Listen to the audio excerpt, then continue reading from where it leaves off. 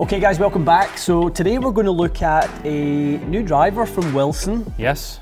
Dynapower, uh, two models, Matty Boy, carbon and titanium, following a very similar story that most companies have. There's a kind of lower spin, call it higher speed model. There's mm. a uh, sort of higher spin, slower swing speed model. Definitely. Uh, generally speaking, doesn't always work that way, but that's that's kind of how we would we would kind of position them normally. I mean, this is basically like a, an LST and a ping. That yeah. would be more like a SFT or a Max. Good way to yeah. look at it for yeah. sure, definitely. So I'm looking forward to it. There is already some hype about it online. Uh, seems like some other YouTube testers have had some good mm. luck with it, um, but we'll just have to see for ourselves. Yeah, I think. Um, at, at, the price point, like you say, that's where the kind of value proposition is going to come with this. Yeah, high performance at a great price. Yeah. Uh, I think there's definitely a, a, spot in the market for that this year. Prices are going They're up, going up. High. There's a lot of noise online, rightfully so, mm. uh, by consumers going, we're not okay with this. We're not okay with prices keep going up year on year on year.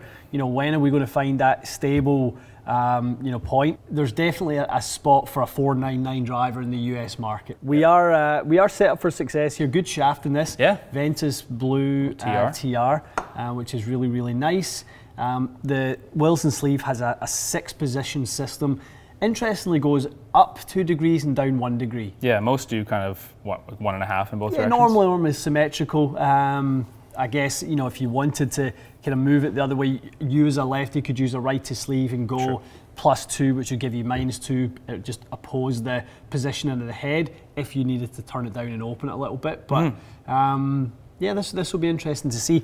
We have preloaded and, and you know got uh, a few swings with your own driver in there for baseline and reference. I think yeah. that's really important. You know, yeah. if, if we feel like which we do, I think TSR drivers are, if not the best, amongst the best out there this year. Sure. Um, you know, that's what we want to compare this to and see if it can truly compete. Yeah, let's see how close it gets. Okay. Okay. Cool.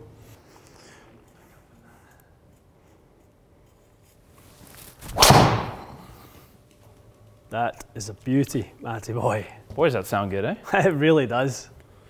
Great flight. Tell you perfect. what. Sign me up. Great flight. That's kind of towy too.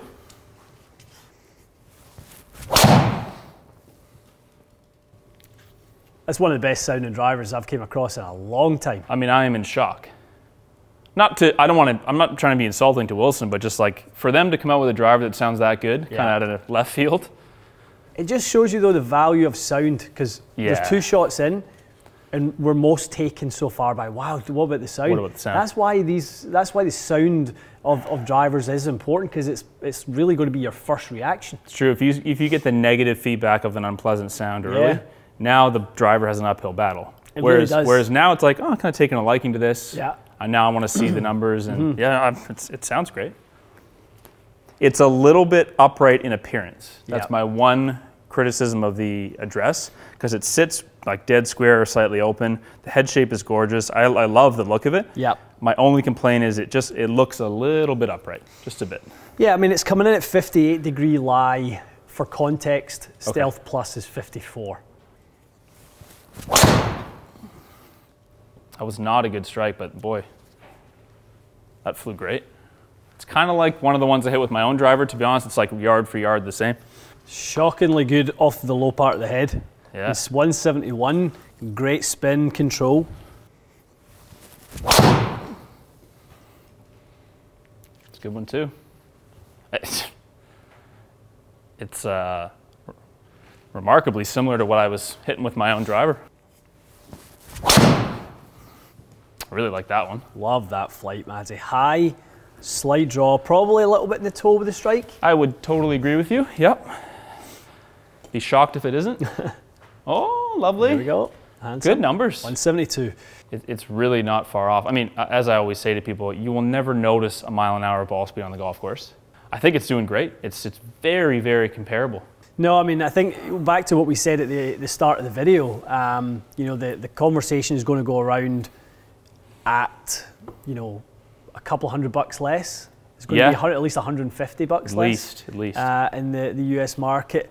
Um, you know, is it is it comparable? Um, yes, it is comparable. Looking that way. And, and I think that money that you save there, you might spend on a shaft upgrade. Yeah, because um, as you've could. seen, you know, a $700 driver can get up to $1,000 pretty quick. Definitely. Do me a favor, Yeah. Can I hit like three hammers? Go for it. I just want to see what it's capable of.